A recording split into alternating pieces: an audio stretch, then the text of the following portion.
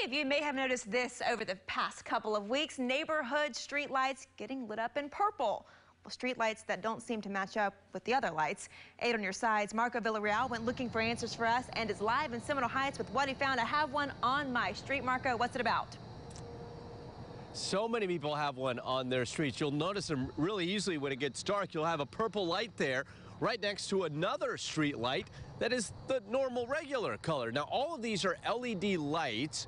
They are meant to be energy efficient and last longer. But guess what? You're not the only one noticing that some of these lights out here are purple. So is Tampa Electric. Some of those lights a few a few versions who, that were manufactured in 2019 are having some issues where they the light might appear purple Now, TECO says the issue is with one of the filters in the lights. They come with three, red, blue, and yellow, the primary colors.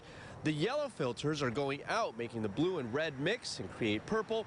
When TECO first started hearing about this, they were asked if the purple lights meant something or was it a sign for something. Some thought it was some sort of discreet sign for law enforcement, the government, or aliens. No conspiracy theory behind the light. No conspiracy. Exactly. No conspiracies.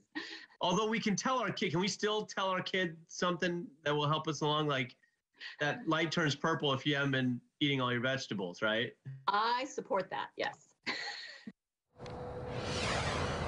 All right, so for those who want to get these light bulbs changed, and Tampa Electric is one of those, they're trying to change all the bulbs, they're asking that you report on their website where these lights are at. You do it the same as you would if you're reporting a light that has gone out on your street. So you go out, you fill out the form, but they say you got to pay attention.